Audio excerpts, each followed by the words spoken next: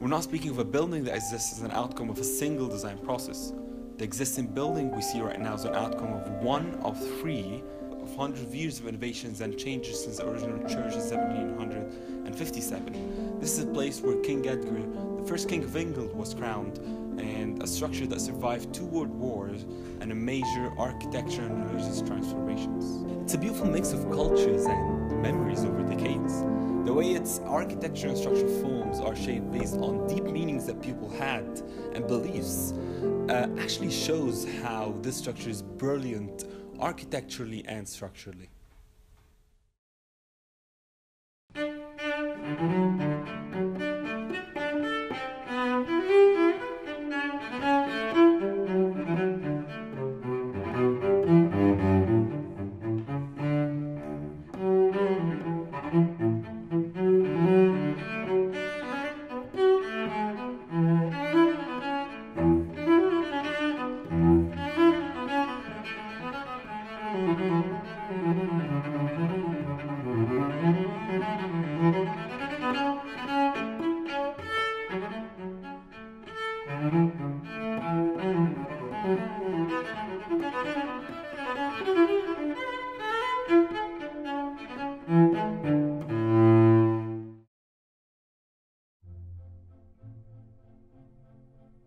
What I love the most about the structure is its form and how the materials are used to build such a beautiful structure.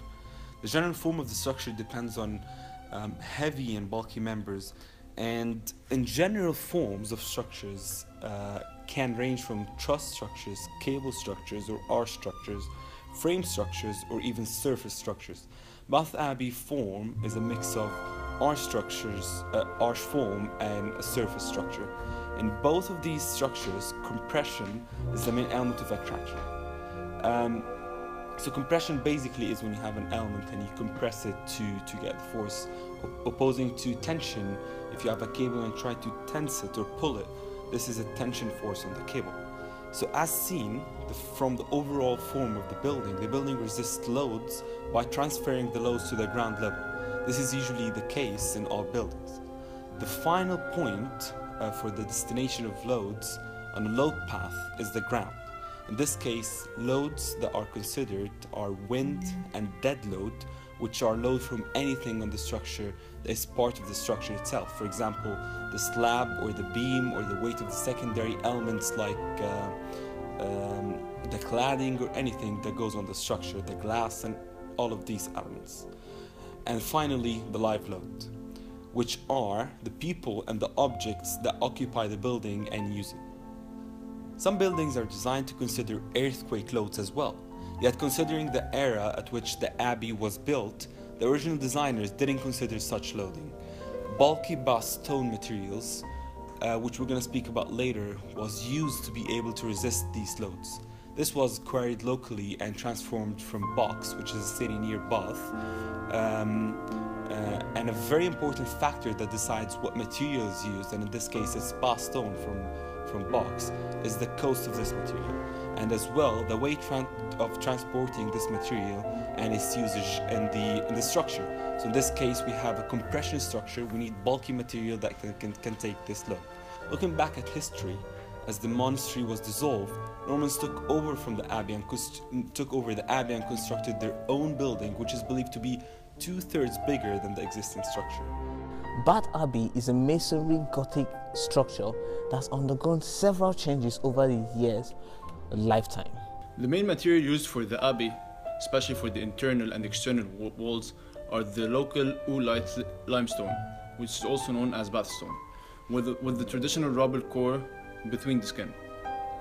The roof is mainly constructed of timber, with the exception of the main part which is the stone vaulting. The combination of the previously mentioned form and the materials give the abbey its unique form uh, and identity of the perpendicular Gothic architecture, by which the combination of the low aisles, nave arcades, and the tall clerestory gives, gives it with the unique perpendicular character. The use of Bath stone as the main building material gives it with this rich golden color. It's believed that having Bath stone as the main, building material is what initiated the widespread use of the material in the city, which is the main material for the Georgian architectural style. The interior is also very unique, with four shafted piers carrying the tall clerestory above four centered arches. This allows a, an, un, an uninterrupted view from the west end to the east end. The abbey was originally constructed in the 14th century. Common with cathedrals, it was constructed from west to east. The walls went up first before the wooden ceilings, hence thicker walls at the main entrance, which was at the west. The, compared to modern construction, this was a safe practice, uh, but although modern construction have improved it in a way, but this can be seen as a safe form of construction in terms of building the walls and before installing the roof system. The structure is characterized with thick walls and robust columns, which helps in the structural stability of the Abbey and also in resistance to imposed loads. Not to dive too deep into history, but the Bath Abbey has undergone major structural changes, but one of the main one is known for is the was done between 1864 and 1874. This was the replacement of the original wooden ceilings with stunning stone fan vaulting, which can be seen in the nave. This fan vaulting helped improve the structural stability of the abbey by transferring the loads from the roof, loads and forces from the roof through the ribs of the fan vaultings down to the columns. There are also external fly, fly buttresses which helps transfer the loads from the fan vaultings to the external columns. And the flying buttresses also help with the lateral stability of the structure. The fan vaultings are examples of are examples of thin shell structures. Just to briefly explain what thin shell structures are, they are lightweight curved structures that help that are very good in compression and help transfer weight through the structure and they are thin in section.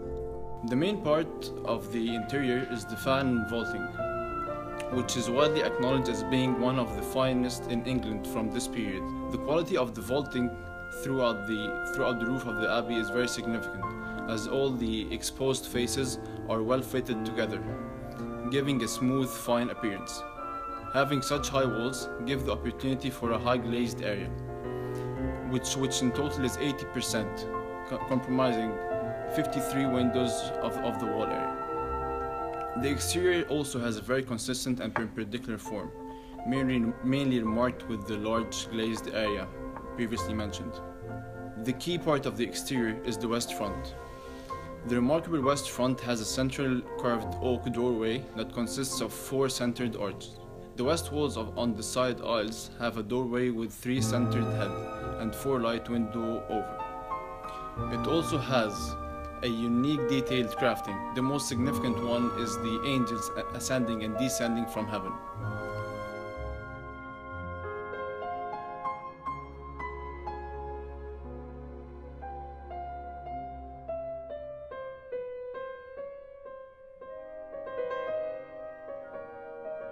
The existing heating system consumes a lot of gas and it is neither economically nor environmentally friendly. According to various companies and monitoring reports, especially Buro Happold, it has been concluded that the simplest and most economical solution is to replace the existing boilers with a new high efficiency gas-fired boilers and replace the existing cast iron pipework with new galvanized steel finned tube pipework.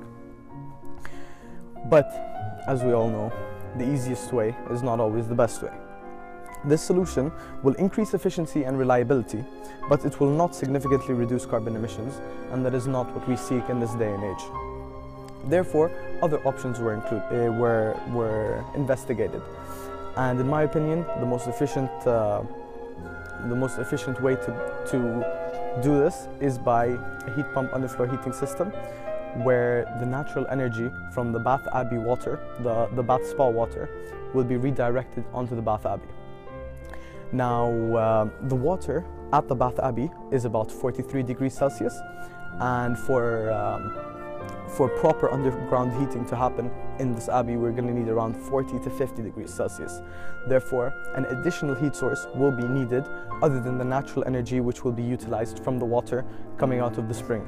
Many large areas in the abbey are uncomfortable for sitting and for praying for prolonged uh, periods of time due to the high roof where most of the heat rises and the cold air as the cold air gushes from down from the windows, the single glazing windows where all the heat is, is being released.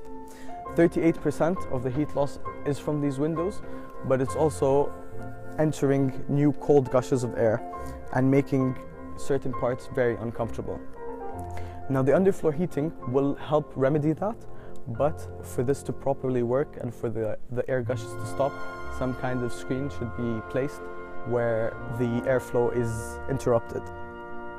In terms of lighting, the Abbey has huge windows, but still at some days it can be very gloomy in here and not enough lighting to um, properly properly function as a, as a cathedral. Currently there's house light lighting installs, which is which gives levels, light levels that are way below what is needed and what is recommended for such buildings.